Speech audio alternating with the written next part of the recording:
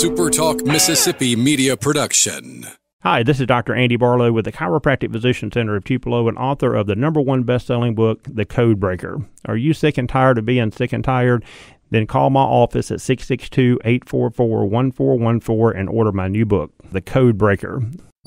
I'm Ben Milam. You're listening to Super Talk Mississippi News. The trial of Carly Madison Gregg continues in Rankin County today. The 15 year old is accused of murdering her mother and attempting to kill her stepfather earlier this year in March. State prosecutor Catherine Newman explained to the jury what the state believes happened on that day. The evidence will show that almost immediately upon Carly coming inside the house, that she goes straight to her mom's side of the bed and removes a 357 Magnum from under the mattress, walked in to her own bedroom, and then fired three shots into her mother, killing her. Gregg's stepfather, Heath Smylie, took the stand and said he quickly saw something was wrong when he entered the home. It was very evident to me immediately that something was very, very off with Carly.